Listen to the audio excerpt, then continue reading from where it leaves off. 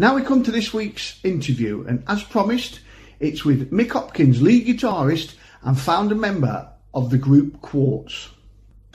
Well, thanks, Daz, for inviting me. We've known each other for a few years now. You're a good, uh, a good man. Thank you. So, uh, thanks again. Right then, Mick, can you tell me how you, well, how you basically started in the in in the music uh, industry? Oh, well, how I started, it was uh, in the early 60s with a group called Jerry Levene and the Avengers. Hmm. And we had a few notable people. Well, they, they became notable after after it all split up. There was Graeme Edge on drums, who left to join the Moody Blues, Right. Yeah. and Roy Wood on rhythm guitar. Yeah. And then I went on to other bands after the Diplomats when Denny Laine left to join the Moody Blues. Nicky James movement with John Bonham on drums. The Way of Life, which had got Bonham on drums again. The Lemon Tree, which in turn changed to uh, Copperfield. And uh, of course, then I went with the Idle Race Yeah. when Jeff Lynne left to go with the move.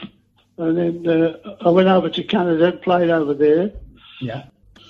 two other members in the way of life, born here but went to live in Canada, Right. and uh, they got together, got a group over there, and the group invited me over, and I went over, and they were in, in the top ten, Hmm. and uh, the, the group was Flood.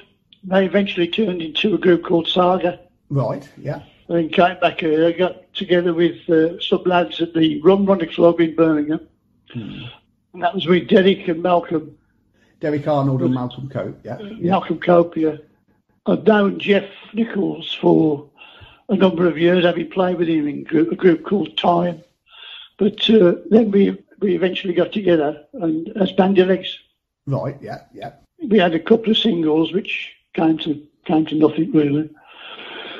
And then uh, we uh, were invited to do a Sabbath tour and uh, Albert Chapman was managing, like, like a road manager come personal manager Right. and, and uh, it, it came to Bloomers in Coventry Road, Birmingham, and uh, brought Tony along, and uh, we went and toured with them, which was quite uh, quite interesting. Yeah. I bet. Yeah. Was that still as uh, Bandy Legs at that point? Bandy Legs, yeah. We'd be signed to Jet Records. Yeah. And this chap called Ronnie Fowler uh, came up with the idea for Quartz. He says Quartz is a it's a rock, it beats and all this. So we used that. So what what year was that then that you became Quartz? Quartz. it was 70, like 76. So obviously then you was were you then sort of getting material together for what became the first album? Yeah, yeah. I mean, we used to rehearse in uh, Derek's garage, and uh, Tony came and had a listen to the stuff, and he threw stuff out that he thought was a bit, you know, not good enough. Yeah. And then we we'd sort of hone everything, get it to the way everybody was happy with. We went to um, to record at Morgan Studios in London, Right. Yeah. which uh, was quite interesting. And of course, I've having known Tony for phew, a number of years, yeah, we, we did all right. I mean, uh, the thing I liked about it was uh, Tony and I played the harmony parts for Mainline Riders. Well, Tony actually played on that, did he? Yeah, he, he, he played the harm. We both played harmonies on it. Right. Okay. Because something else. Somebody mentioned something about Don Airey playing. Don, Don Airey had said that he played the chords, and somebody disputed the fact. Well, Don is on the Right. Is he? Right. Okay. he's playing the keyboards on Devil's Brew. Yeah. The And there's been there's been some things uh, going round about uh, Ozzy singing and uh, and Brian May. Well, Ozzy was singing like backing vocals, but he kept saying, uh, Charlie kept saying, Ozzy, can you get move away from the mic a bit? Can you move away a bit more, a bit more? Until eventually it was too bloody far, you know. and uh, Brian May said, um, we played him a track. He says, I think I can. Uh, I can, I can do this for you, you know. Uh, I'll do it for Queen. All right. He says, go and have a drink. Go around the pub and have a drink. So we went out to the pub, came back, and he was he got bloody tight round his neck, and he was on the floor and all this. He says, yeah, this is what I've done. So puts it on, and he says, I think it was okay as it was. that was it. That was that's what it was. Ozzy did sing, but was did appear on the album because Tony didn't like the idea. And uh, Brian tried to, to edit a song, and it didn't work out the way he wanted it. Was that on the track Circles, Mick? Was it? Circle, circles, yeah. And that actually didn't appear on the album in the end, did it? No, no. it was a, it was a B-side original. Right. Okay. So that was 1977. 77, yeah. Yeah. Well, uh, I was working at Reddington Rare Records for a time. Yeah. Danny Reddington came up with the idea of having a live album, and he paid for it. Right. We did all that, and we had Satan's Serenade out on Reddington's. Uh, Logo Records became involved. Logo were a subsidiary company of uh, RCA, and they released Satan's Serenade as, as well as uh, Danny releasing on Reddington's Rare Records. And um, then, of course, there was the MCA album after that, after all that. Which was Stand Up and Fight. Stand Up and Fight, yeah. When did you start working on that album then? We were writing stuff, Derek and I were writing Stand Up and Fight in a hotel room. Okay. And uh, What, while you was out on the road? yes, uh, I'd already got ideas for Charlie Snow. Yeah. And uh, that's the way we're doing it. it, is sort of going, recording something.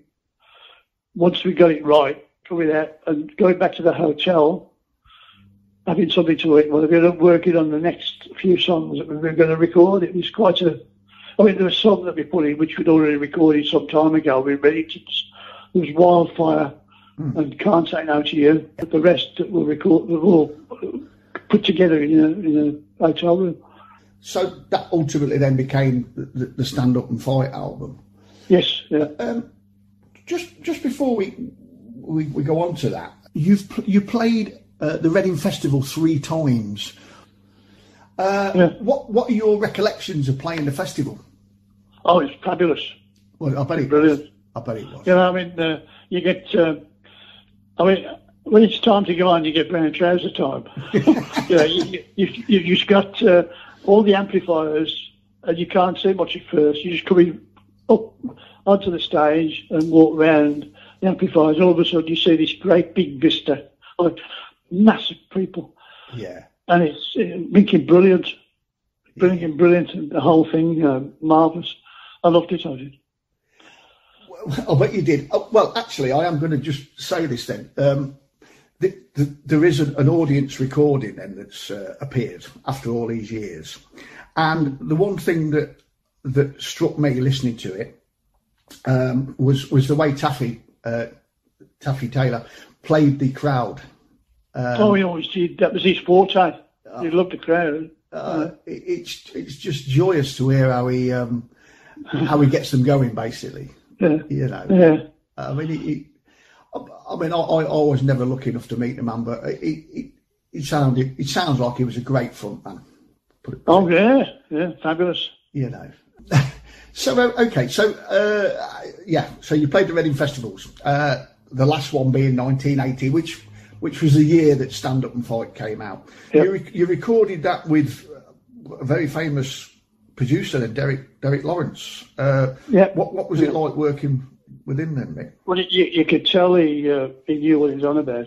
Uh, Yeah. There were certain things that I didn't like, but it was because we were pushed for time in places.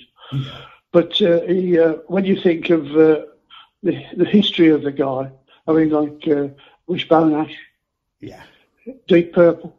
yeah. What a pedigree. Yeah. But uh, yeah, he, uh, he knew he knew his stuff, and he used to come up with ideas as well. And uh, it's quite interesting, quite interesting the whole thing. So we're going to have a listen to a, a, a piece of music now. This is um, something that you've um, chose for us. Uh, could you just tell us what it is then, Mick, please?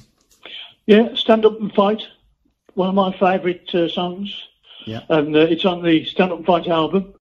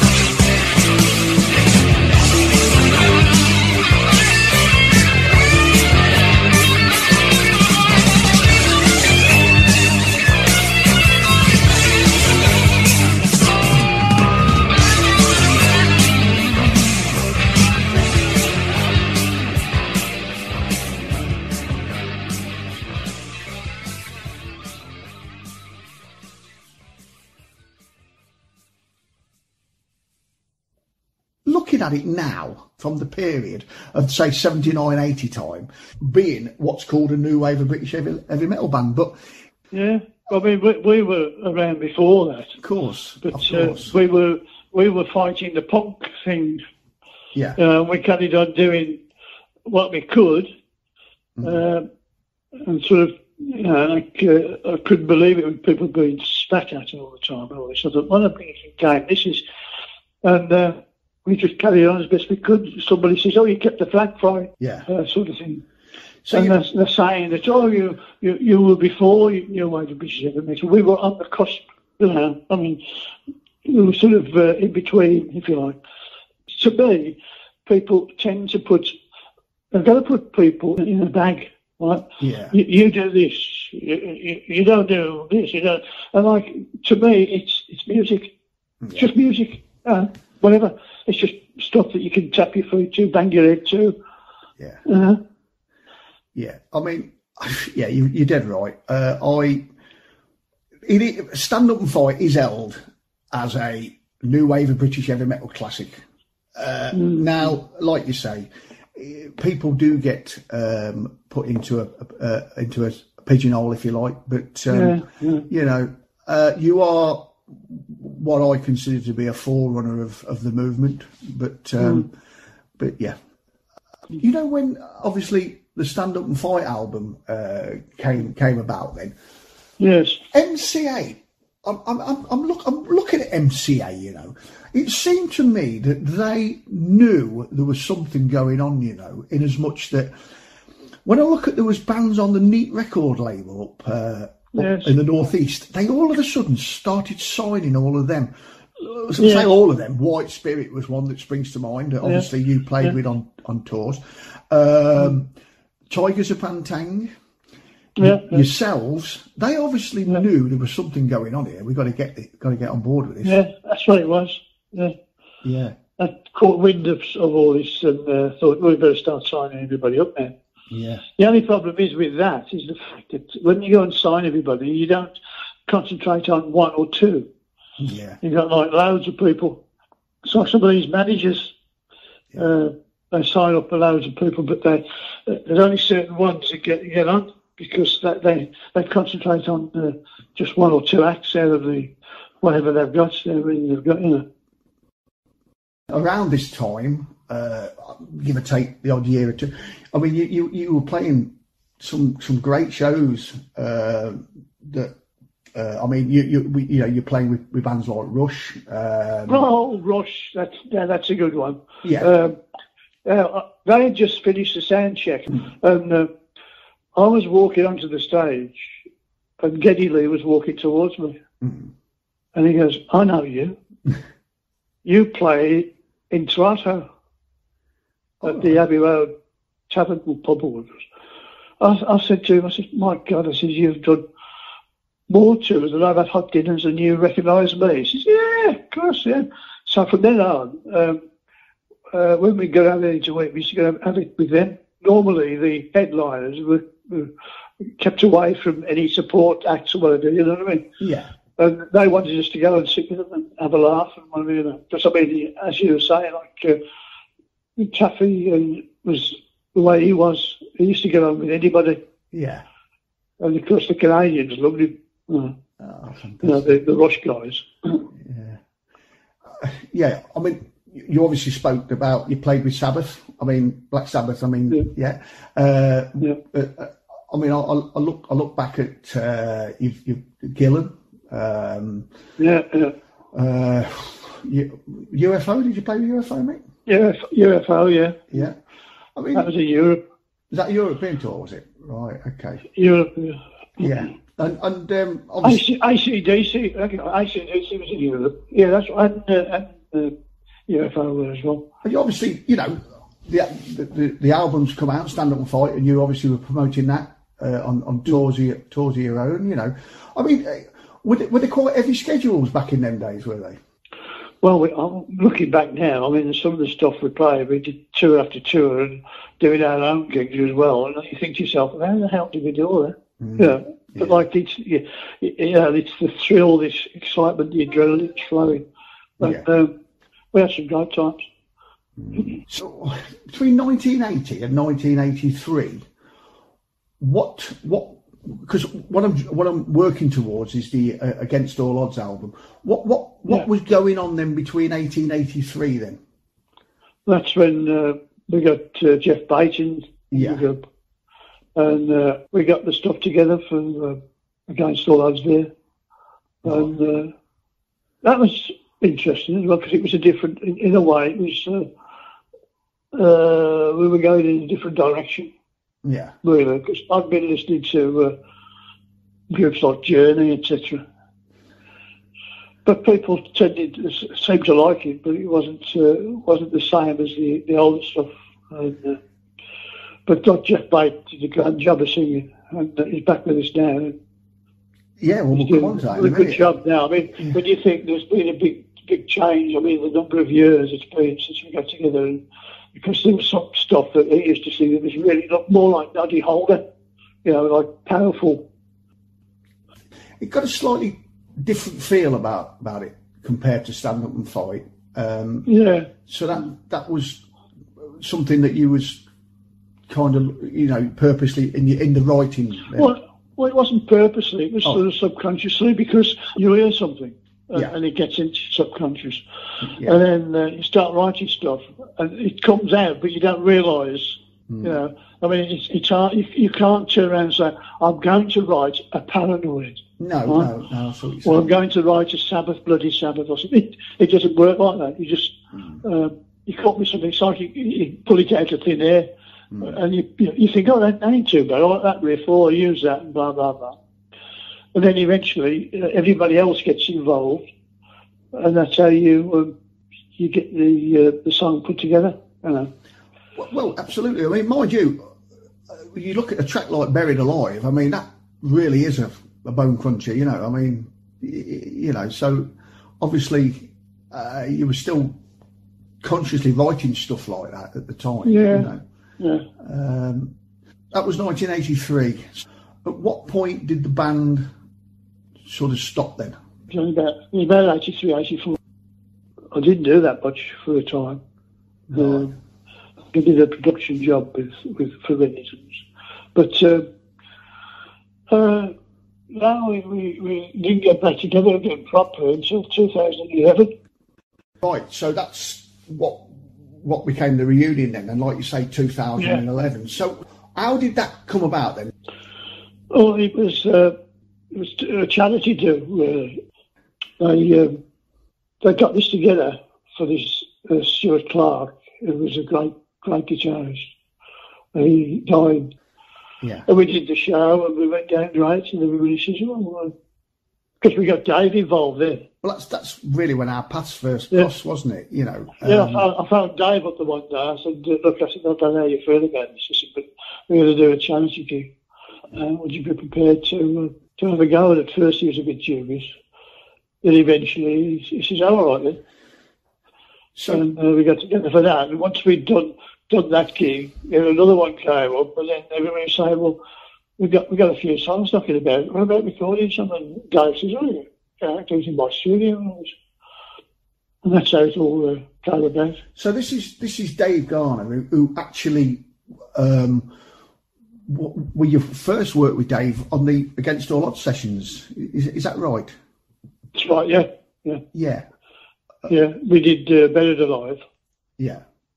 uh, uh, Silver Wheels, stuff like that, yeah.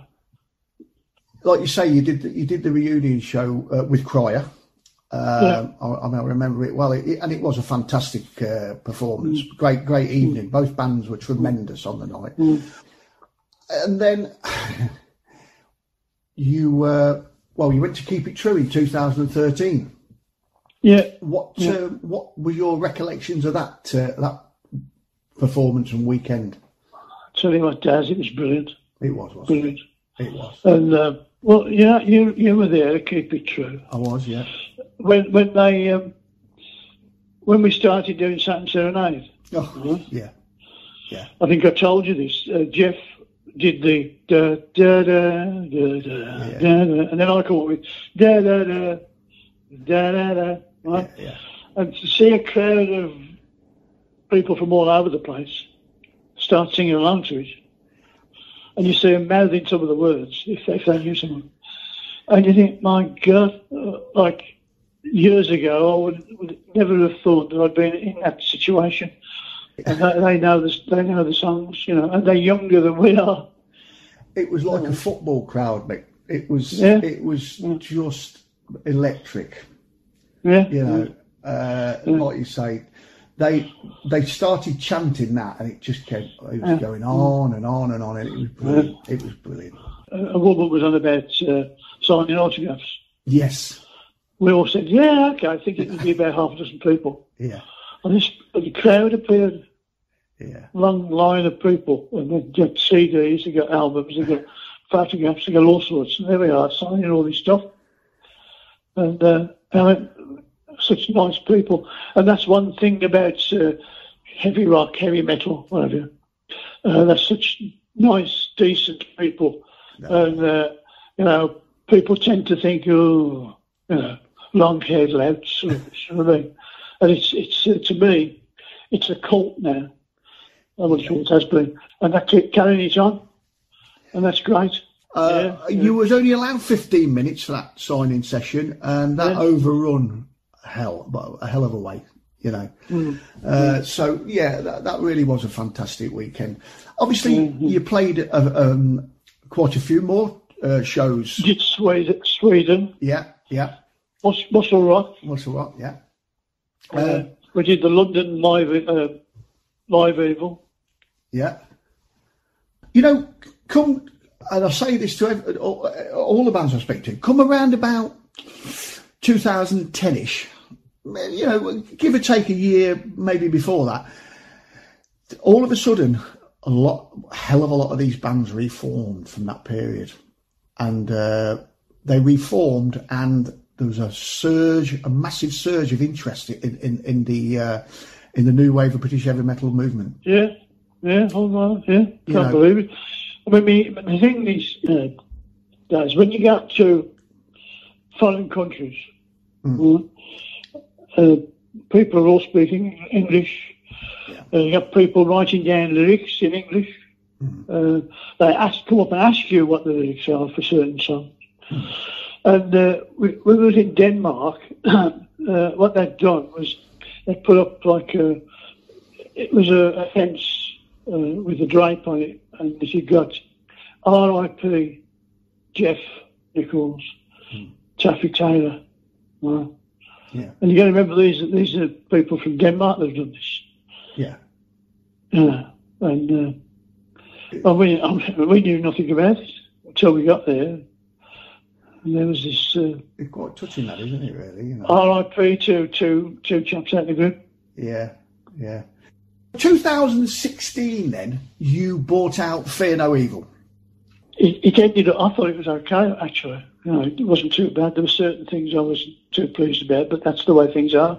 I think it's I think it's a great album personally, but you know, It's having been involved with it, you know, you, you, you write something, you get an idea, but it just actually turned out the way you wanted it, you know. yeah. It's, it's, it's on the way to it, but like not fully, you know what I mean?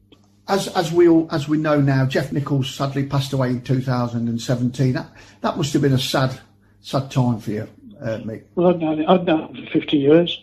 Yeah. It was like, uh, we were like brothers, weren't we? Yeah, although we, I didn't see him for 20 years uh, when he left to go over to the States, but I've known him for 50 years. You know. yeah, And uh, we, we used to do some nice arrangements and guitar parts and whatever.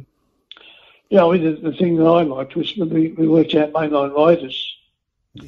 And uh, then eventually, when we went into the studio, uh, Geoff was, you know, quite good about it. this says, uh, like, uh, I don't mind if, if Tony plays. He did a solo on something. I can't remember what it was now. Um, I think it was Pleasure Seekers or just Street Fighter Lady, one of the two anyway. yeah. But uh, yes, it was quite a quite an interesting experience. I bet it was. Yeah, I bet it was. So let's move on then to the uh, the the album then that you've been working on. That um, The idea was uh, Geoff said to me before he passed away a few weeks before, he says, I'd like to think that uh, my, my songs that I haven't completed, uh, that you could complete them and put them on the album. Right, okay. Which uh, was quite, uh, got to me, really. I bet, I bet it is, yeah. And uh, we went and um, got all the backing recorded and uh, used his voice, his keyboards, and guitar, bits of guitar. and it was a case of fingers crossed when we tried it in, on the recording to see whether everything worked out okay. And it, as luck would have it, it did. so, So um, that was uh, that was interesting for us. Uh, and we got some of his stuff down. so you kind of pieced your pieced your um, parts around what Jeff had already laid down, then, did you? Yeah, uh, I, I, took, I got the all the vocals separate. Right, okay. Like, uh, just did all that. We did all the backing, and then put the vocals in to what we'd done. Right, I'm with you. Yeah. And there's, uh, there's three, I think there's three or four songs that we did like that. Oh, excellent. And that'll be on. That, it'll be pointed out on the on the uh, on the album on the actual sleeve. You know, just saying like this is Geoff. And because I mean it's, it's it's it's across the board now. I mean you got you got you got two Geoffs. You got Geoff Nicholls. You got Geoff Bates. Yeah. You've got uh, Tony Martin doing a track. Derek, which is a first for him because he'd never sung lead before. So uh, that's how we got through it. Um, I mean, I was hoping that would finish the album off, Right. uh, but it didn't turn out that way. No. So uh, You, you, that's one of those things. Am I right that it's it's complete then? Complete up to up to a point. I mean, it needs uh, mixing there, uh, and we and we couldn't do it because uh, Miguel, the engineer, is Portuguese, and he comes over here for about six months or something, and he goes back to Portugal. So he goes back, and now there's this uh, ban on people coming back from Portugal. Yeah. You know what I mean? So, so we got, and of course you got all this lockdown thing. With, we, we couldn't go and record in the studio anyway, No. so that's holding everything up. So, um, So just to give us a just to give us a little idea, then, what uh, what are we are we looking to expect here? Then, are, are we still looking at the uh, the Quartz trademark sort of uh, well heavy guitars sort of thing? And uh, yeah, oh yeah, yeah, yeah, Yeah, oh yeah. There's a few different ideas. Like we did this one song called World of Illusion, yeah, which Geoff had, had done a demo of, but he hadn't completed it. right, and it was a bit like uh, like a Sabbath song, uh, sort of uh, not not, a, not you know one of the slow ones that Sabbath used to do. yeah. And uh, I, I should be interested to interested to hear what you think. Oh, well, so we'll look forward to that coming out then. Well, Mick, I'd like to thank you for joining us uh, on uh, this week's DJ's Denim and Leather, and uh, wish you all the best with the new album, and uh, and all the best for the future. Thank you very much. Well, thank you to you. It's been a pleasure, and I think you're doing a grand job. Thank you, sir. And we need uh, we need more of this going on. It's it's it's a good movement, you know, the heavy rock, heavy metal movement. Yeah, That's what we need, yeah. and you're doing it. Thank you. Cheers.